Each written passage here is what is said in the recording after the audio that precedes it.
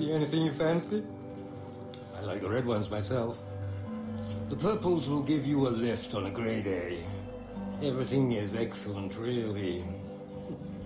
Oh, not the yellows, don't take them. They're liable to kill you. The mix is not quite right yet.